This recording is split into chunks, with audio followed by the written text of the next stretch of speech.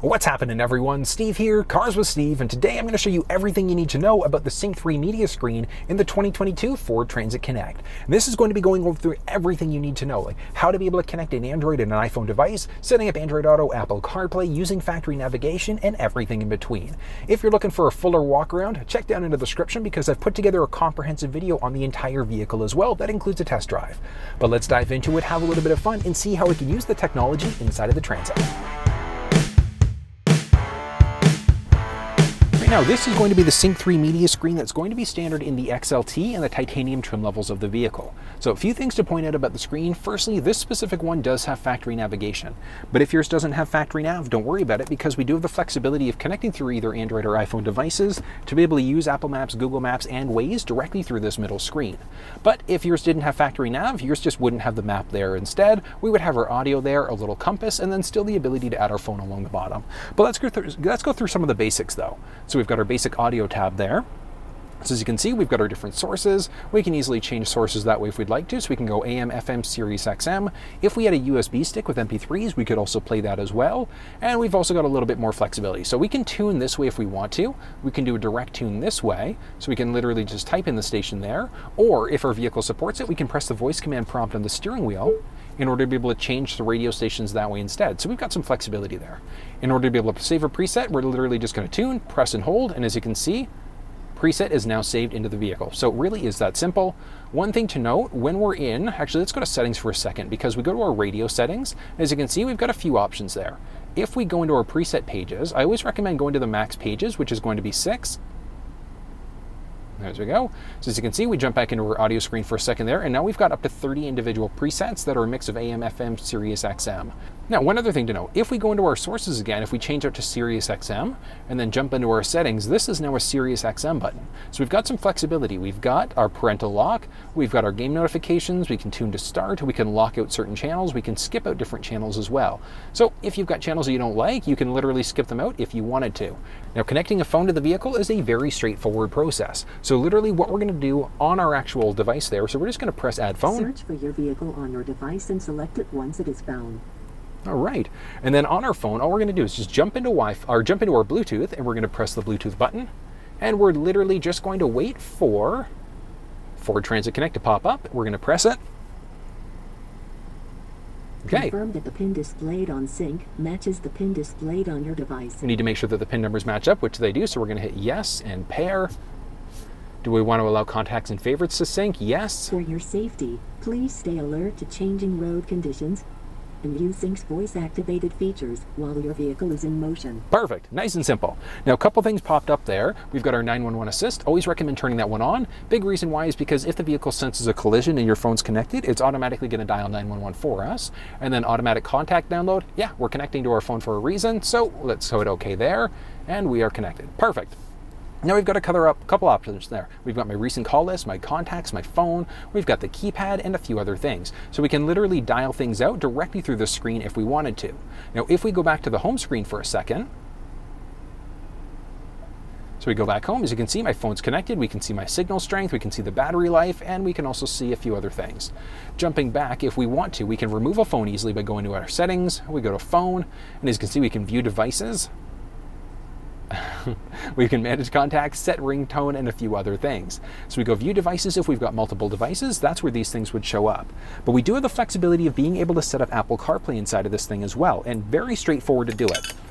Literally all we're gonna do is take our USB cable and we're gonna plug it into that top USB port. We're gonna take the opposite end of the cable, plug it into our phone, and watch this. Okay, Apple CarPlay. So we do have to hit continue and we do need to agree in order for it to work. And we're gonna give it a second there. Do we want to allow Sync 3 Well, yeah, CarPlay while it's locked? Absolutely. And boom, there you go. As you can see, we are now connected. So we've got my Apple Maps, we've got Google Maps, and we've got Waze. So if yours doesn't have factory navigation, we still do have the flexibility of using all of our different app map applications, which is a nice thing. We've got my messages, podcasts, audiobooks, and a number of other things. Now, one nice thing about the Apple CarPlay side of things is that if we go into our general settings, we scroll down to CarPlay, we've got our Sync 3 system, we can customize the launcher as well. So if you have a tendency to listen to your podcast more and your audiobooks, we can go up and down. And when we do that, it literally does update it on the fly. So if you wanted calendar up at the top there, it's updating it dynamically. We can remove that if we wanted to very simply by just hitting remove. And we can shuffle these things around a bit more. If you've done too much to it, you can literally just do a factory reset in order to bring Sync 3 back to its default screen instead, clicking back into that main screen. And one of the cool things is that when we are connected through Android Auto or Apple CarPlay, we still can use our factor, we can still use our volume rocker as well. So we can use AM, FM, Sirius XM while we're connected this way, which is nice. We don't necessarily have to rely on our podcast now playing, things like that. Now, in order to get back to the sync home screen, we're literally just going to press the forward button there, and that's launched us back in. We can button press in order to get back into CarPlay, or if we go into Apple CarPlay, we've got Apple CarPlay and Steve's iPhone. So we've got my phone there, so we can remove it if we wanted to. So if we remove the phone, watch this. So it's back to factory navigation instead. We can disable CarPlay as well. So my phone is technically still charging, but I'm not relying on using Apple CarPlay anymore. We can literally remove it from CarPlay if we wanted to, and there's no connected devices for CarPlay anymore. Actually, we jump back into our phone on the bottom there. I'm still connected over Bluetooth, so we've got my call, contacts list, and things like that. And it really is that simple. Now, if we have multiple devices, we could literally just hit change phone. But let's actually go through and set up an Android device right now as well, because it literally is the same process. So we're just going to hit add Bluetooth device. Search for your vehicle on your device and select it once it is found. And literally all we're waiting for is for the Transit Connect to show up on this as well. There we go. So we've got the Transit Connect, so we're just going to connect there. Connect to the Transit Connect. Mwahaha, why not? Confirm that the pin displayed on matches the pin displayed on your device. Okay, match up. So we're going to hit yes and okay. For your safety, Perfect. Please stay alert to changing road conditions and use Sync's voice-activated features while your vehicle is in motion. Okay, so we're connected, so we're just going to hit allow to allow the messages there as well. And uh, one thing, because I've already got a phone connected, it's now given me this option. Do I want to save it as the favorite? Yes or no? Download contacts? Yes, we want to do that as well. So we are now connected to the Android device as well. So we click in, as you can see, we've got my phone assistant, we've got the Galaxy S9. So it really is that simple to be able to set this thing up. We jump into our phone there. We can go into our different phones, view devices, and as you can see, we've got my iPhone set as the current device, and we can either disconnect this, we can make it favorite, or we can remove it as well. So very straightforward there. But we do also have the option of using Android Auto if we want to. So very similar to the Apple side, we're just going to take our USB cable, plug it into that available USB, USB device, opposite end of the cable, plug ourselves into the phone, and watch this. Okay, Android Auto. So on the phone, we would just have to hit next, and we have to continue.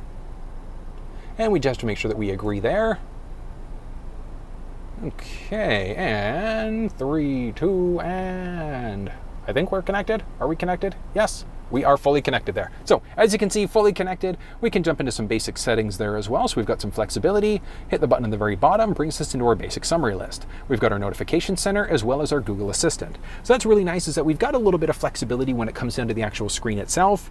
They're very similar to the iPhone side of things. We do have the flexibility to move some things around. So in our settings screen, we're just gonna go to Android Auto. We're just gonna go to our basic settings there. We've got my car that's connected. We can, we've got our Google detection. We can customize the launcher there as well. So if you have a tendency, oh, I don't know, maybe you want your news at the very top, you want your weather up there as well. We can kind of adjust things in, as we would like to. But one thing to note is that it's not dynamic the same way it is on the iPhone side. So we do have to actually stop Android Auto and relaunch it in order for those changes to take into effect. Moving back though, we've got our Google Assistant, we can turn weather on or off, and we've got a few other features there as well. But we can jump back to the home screen by pressing that forward button there. And as you can see, we can jump across, we can hot button press to get back into Android Auto on the very bottom. Clicking on the top there is going to launch us into our Android Auto settings. So we can, we've got our Android Auto, we can show connection, and we can remove the Galaxy as well. So if we remove my phone, remove, Android Auto should disappear. Perfect, there we go. And we're gonna disable Android Auto as well. We're going to remove the device from the vehicle and it's now fully disconnected. So really is that simple to be able to adjust phones from there. And then in order to be able to remove phones from the vehicle, we're going to go to view devices and we've got the few devices there. So we can click on either one. We can remove, remove, then we go to the Galaxy, same idea. We can disconnect or we can completely remove it from the vehicle as well. And the phone is now fully disconnected and it really is that simple. Now, jumping into our navigation settings. So we've got quite a few options there. We've got our 3D model, breadcrumbs, point of interest icons, and a few other things. Breadcrumbs is a neat one because as we go through the actual map, and let's kind of zoom out there. So as we go through different areas, it's literally going to leave little dots and let us know where we've gone. So think of Hansel and Gretel, it's kind of neat setting there. Jumping back into our nav settings, we've got some different options for route preferences, so fastest, shortest, most eco-friendly. We can avoid freeways, toll roads, and things like that. We've also got some other nav preferences. So the navigation preferences are going to be specifically for the voice command prompts and the guidance prompts. So we can have a voice and tone, just a voice, or a tone only. So you've got some flexibility there. And moving back again, so as you can see, we've got a few other options. So we can view our route, we can detour, we've got our search history, and a few other things. We've got our home and work addresses, point of interest icons, and our history as well. So we've got some few different, we've got quite a few different options when it comes down to it. Moving back in, we can click on the top right there in order to be able to cancel the route as well. Now, moving into our apps. So apps, we can add in a device if we wanted to. We can find different mobile apps. Now, certain apps, specifically on the Android Auto side of things, you have to physically be connected through USB in order for them to work. So definitely something to think about there. And moving into our settings, so we've got quite a few different options. So we've got some basic for our sound settings, so treble, mid-range, bass, balance, fade, things like that. Looking at our mobile apps, so we can enable mobile apps via USB. So some mobile apps will have to be connected through USB in order for them to work. Looking at some general settings, we've got quite a few options there. So we can go between English, Spanish, French, Celsius, Fahrenheit, kilometers and miles. We can disable the beep that we get as we go between screens. And we can also do a reset. So either master reset or just the Ford Pass reset as well. So a few options there. Moving down to the side, we've got 911 Assist, automatic updates, which I always recommend make sure you connect to your Wi Fi network at home. Turn on automatic updates as well, because if the vehicle knows that there's an update available, it's automatically going to update it for us. Ford Pass Connect, the vehicle does have the option for a wireless hotspot for up to 10 devices. We do need a data only plan through our cell phone provider in order to be able to have that to work though, but we do have that flexibility if we want to set that up. We've got Apple CarPlay, which we are going to remove CarPlay, so let's remove the CarPlay device. Okay, and Apple CarPlay is now gone. And that's one of the nice things because if we disable Android Auto and Apple CarPlay, the buttons will literally disappear, but when we plug a phone back in, they'll come right back to us again. We've got some basic vehicle settings there as well. So we've got a rear occupant alert, which if we turn the vehicle off, it's going to give us a message letting us know to check the back seat. We've got our camera settings there as well. Now display, we've got a few options. So this is technically the daytime mode because we've got auto, daytime, nighttime, etc. We can lock it into one of the other modes or we can let the vehicle determine if it's going to be in the day or the nighttime mode. And that's going to be dependent on how bright it is outside. And as nice as the screen is, if we find it's a little bit too much, we can turn the, we can go to a calming screen instead. We can bring it back to life. We can hop inside, go back to our display, and turn the display off as well. So we've got some flexibility when it comes down to it. We can change around the brightness, and we've got a few other options there. Moving into our voice control. So voice control, we've got a few different options. Advanced mode means we won't get as many notifications as we do certain things. So I want you to listen to something for a second. 97.7. Okay, so what's happened is it's changed radio stations for us, but it hasn't actually told us that it's doing it. So the advanced mode, like I said, we just won't get as many notifications. Phone confirmation, do you want to call such and such person, yes or no? And then our command list. So when we press the voice command prompt in the steering wheel, this is the command list that's going to show up. Moving back, we've got our valet mode, and that's what that's going to do is give us the option of entering in a four-digit number in order to be able to lock the screen out. So if you've got a valet driver, you want just basic security, we've got that flexibility. And that's going to be the basics of this Sync 3 media screen. What did you think? It's kind of neat, right? And I love how much flexibility there is there. Now, I do recommend going for the XLT trim level so that we can get this larger media screen.